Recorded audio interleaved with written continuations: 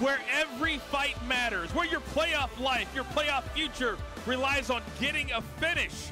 We've got all your best bets, all your parlays, all your props. We got it all. Welcome to the DraftKings pre-show for PFL 4. Let's go. The PFL is back for the second half of the 2021 regular season. Live from Atlantic City at Ocean Casino Resort, it's the push to the playoffs for the featherweights and lightweights.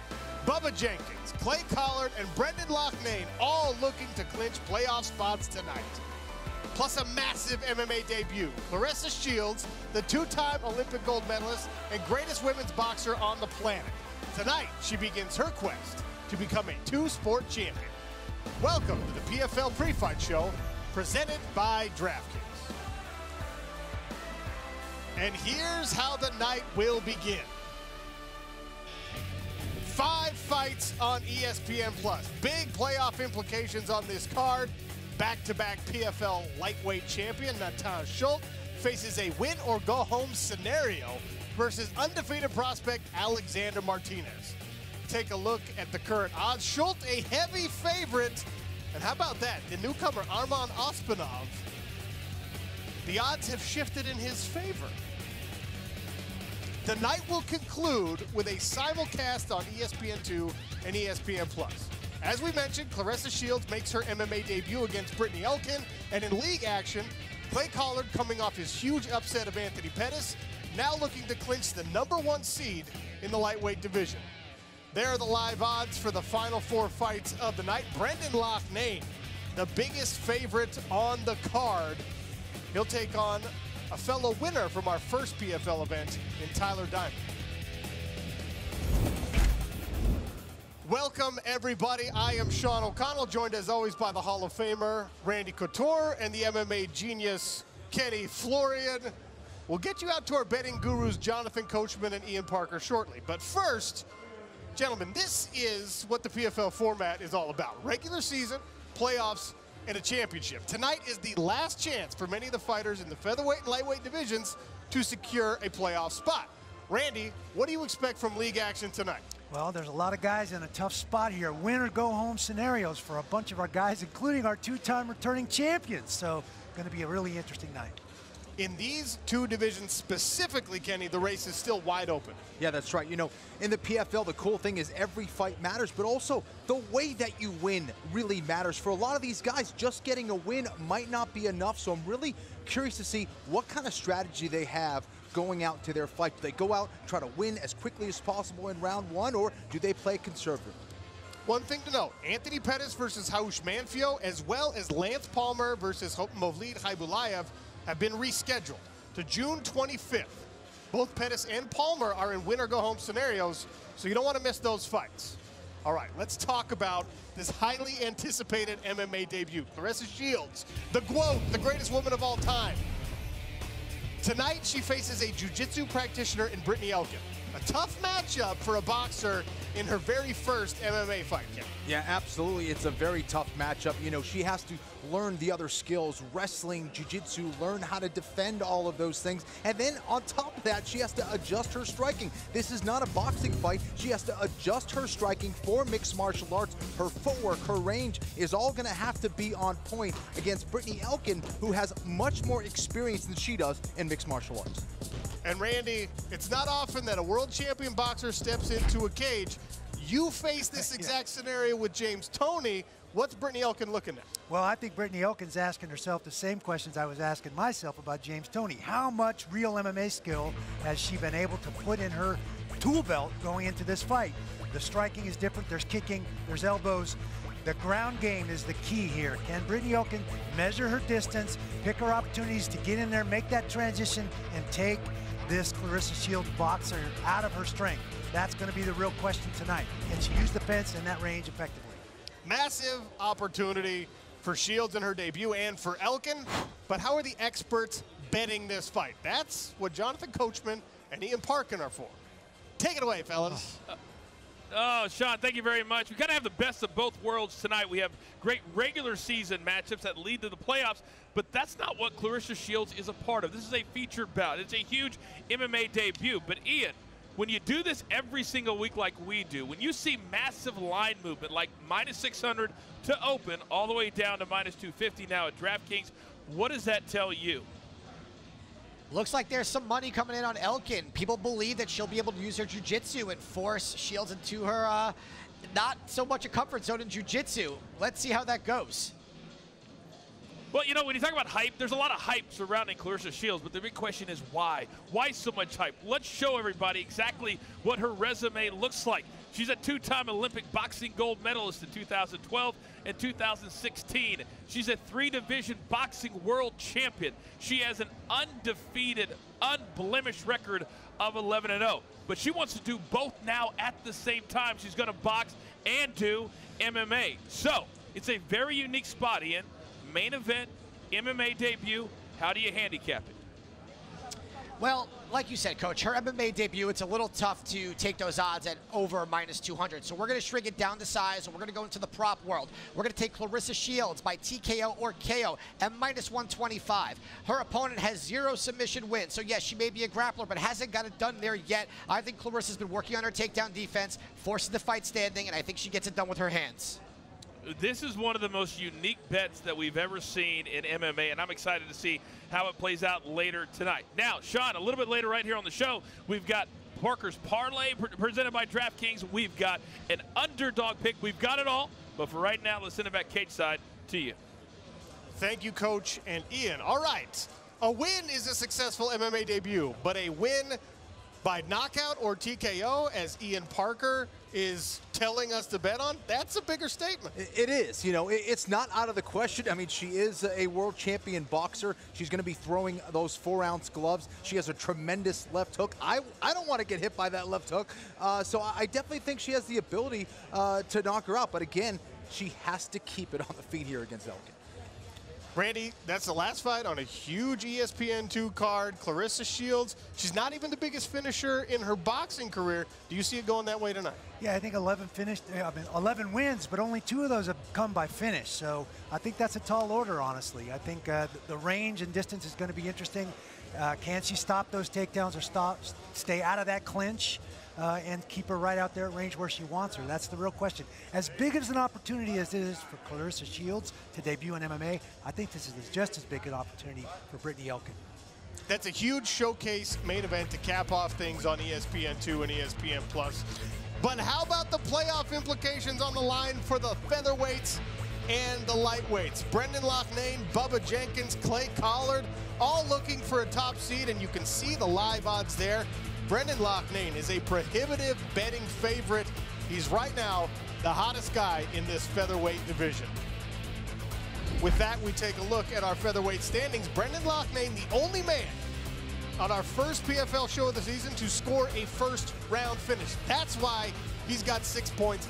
That's why there's so much hype behind the lone Brit on the roster. What about at 155 pounds? Clay Collard had six points but that's because he scored a decision victory in the upset over Anthony Pettis, and then his opponent later tonight missed weight, so he gets three automatic points and a walkover victory.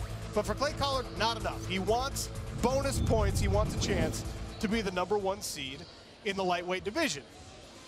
Randy, give me a fight to watch coming up on ESPN. Well, I'm excited about that fight. Clay Collard and, and Lutterbach. You know, Collard coming out with six boxing victories while the rest of the world was on lockdown derailed a bunch of top-ranked boxers, and now he's come back to MMA. He's a well-rounded fighter. He's not just good on with his hands. He's good on the ground.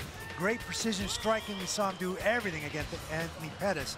Lutterbach is no slouch. Brazilian jiu-jitsu practitioner, long-rangey kid, and he's unorthodox. Sometimes those unorthodox kicks and punches come from places we don't expect them, and that's going to be something for Collard to deal with. That is a great fight. Kenny, which one's your favorite coming up later? For me, I, I, can't wait for the Brendan Loughnane and Tyler Diamond fight. You know, not only have these guys been talking trash to each other, but just the way that they fight, I think it's going to deliver a very exciting fight. I'd be surprised if it goes the distance. You see Loughnane right there finishing Sheymon Moraes. That was in round one. A tremendous striker, and Tyler Diamond was able to come back from the dead, essentially. Almost got knocked out, showed how tough he is, came back and delivered a very very exciting win. So can't wait for that one. Couple of phenomenal fights to watch, but how are Jonathan Coachman and Ian Parker betting the ESPN2 car. Sean, as much as we want to entertain everybody, it's also very important to educate everybody. And when you look at the numbers that you guys just showed, the numbers are just way too high, and upsets do happen. So, how do you bring those numbers down so if you do suffer a loss, it's not as painful as minus 400? Ian, I know there's three fights on the card outside of Claressa Shields. Wrap them up for me and tell me what you like. Let's start off with Brendan Loughnane over Tyler Diamond. Look, this guy's got the momentum out of anyone in the entire league. His striking, he's got underrated takedown defense, and he actually has really good wrestling and cardio. I think Loughnane gets it done with his strikes yet again. Bubba Jenkins, performance of a lifetime against Lance Palmer. The momentum keeps going. He'll have the wrestling advantage, and his striking has gotten a lot better too. I like him in this fight as well. And to anchor our parlay, Clay Collard. That strike against Anthony Pettis was nothing short of phenomenal. Also, underrated ground game. I think that Lutterbach's striking, his chin's too high. I think Collard gets it done, and that parlay will get us at plus 154 odds. I'm going with that one, Coach. I love that plus money. I also love the fact that Collard decided he wanted to go out and fight get the bonus points, but all we need to do is have him win in our parlay, and that helps us cash. Now, still to come, we've got Parker's picks, we've got underdogs, and believe me, underdogs can cash in the PFL. But right now, let's go back cage side to Shaw. Thank you, Coach and Ian. All right, part of that parlay was the guy we haven't talked about, which means we haven't talked enough about Bubba Jenkins. Coming off the biggest win of his mixed martial arts career, he took out Lance Palmer in his PFL debut. He's a favorite tonight. You expect it to go that way? You know, not only did he defeat Lance Palmer, but he established himself as the best wrestler in the division. And you know what? Uh, as good as Lance Palmer is, there was not a point where he was really winning that fight. I thought that Bubba Jenkins really cruised to victory, kind of made it look easy. He didn't get that second round knockout he was talking about, but he dominated with his wrestling. And when you have that kind of control, when you have that ability to close the distance, that's got to make him one of the favorites in that division. And Randy, if you're Bobby Moffett making your PFL debut, you got to go up against that guy, yeah, Bubba Jenkins. Yeah, that's a tall order for anybody coming in. It's been, and Moffett's looking at that, going, "Man, how did I draw this straw?" But uh, Jenkins is obviously an NCAA champion. That's a very elite group of guys for Arizona State. He did a great job, like you said, Kenny, against Palmer, controlling everywhere that fight went. He rode him like a wet blanket. Yeah. And I expect him to come out and do the same thing again tonight. All right, so those fights we just talked about, you'll see on ESPN2, but the night starts 7 p.m. Eastern on ESPN Plus. Five fights, all with playoff implications on the line, and there are the live odds right now. Natan Schulte coming off a loss, but a two-time lightweight champion here in Professional Fighters League. He's a big-time favorite over an undefeated prospect. And how about Arman Ospanov? The newcomer out of Kazakhstan, the winds are blowing in his direction. He has somehow become a favorite over Chris Wade, who's already been in the PFL playoffs twice. Randy, give me a fight to watch on Plus. Man, uh, I'm going to go with uh, Schulte and Martinez. I, I like you know, it. Schulte is under the gun. It's a win or go home scenario for him. He's literally been flawless in two seasons. It's going to be amazing to see how he deals with this pressure. Martinez is no slouch. He's well-rounded. He's, the, the Frenchman does a great job in every position, but he's going to have his hands full. We know what Schulte does. Plods forward, great hands. He's going to just keep coming. Get too close to him. He's going to grab a hold of you, use that judo, and throw you on the ground and make it even more difficult for you. I don't know. I, I like Schulte in this one, but it's going to be a great fight. All right, Kenny Florian, I got to ask you the same question. Five great fights, but which one jumps out for you? Well, I, I, like the Canadian and the Polish fighter going at it. OAM taking on Marcin Held. And Held, known for his leg lock submission ability, but went out there and outstruck Natan Schulte for two rounds and uh, really showed he's been working on that game, had excellent speed and combinations, but he's taken on another excellent grappler in OAM. You see George St. Pierre there in the background. They are buddies and have been training together. Uh, and he's also developed uh, an excellent striking game as well.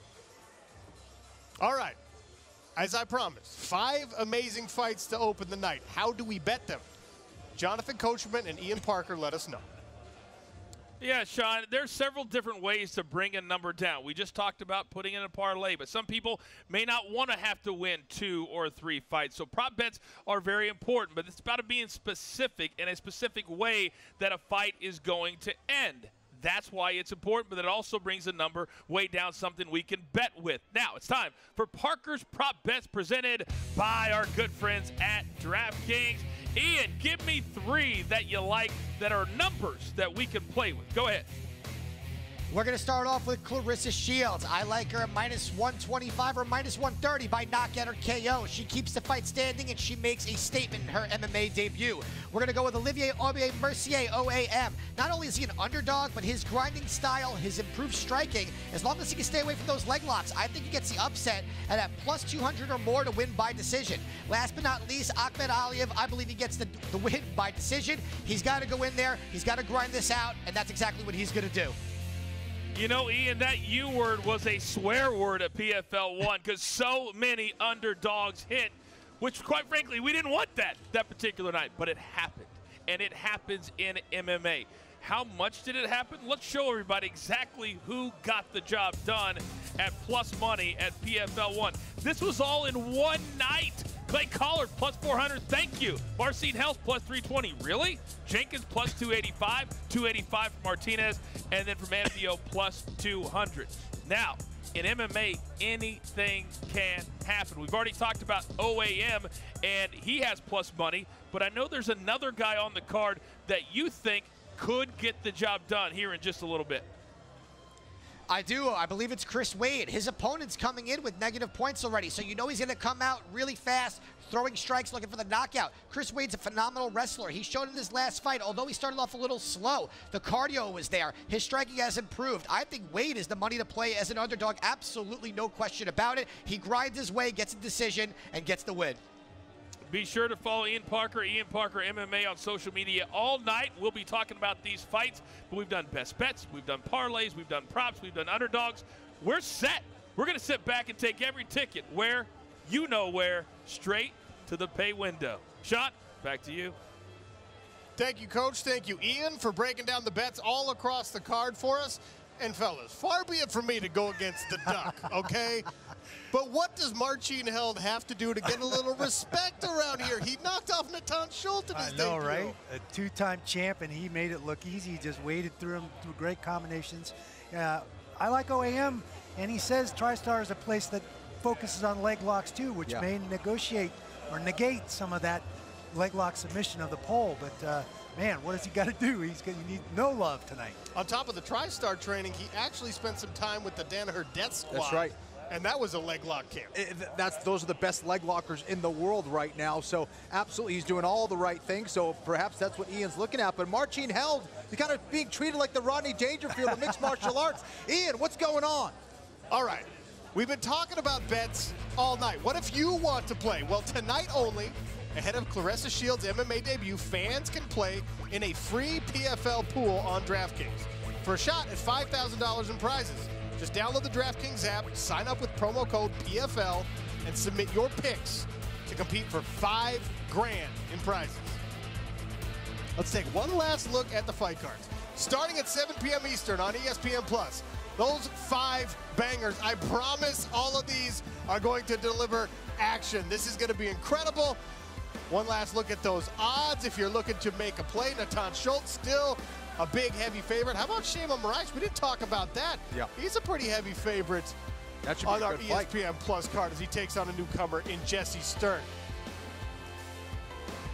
The E ESPN2 card will also be simulcast on ESPN Plus for those of you who stay in the streaming world. Four fantastic bouts and potential number one spots in the playoffs coming up.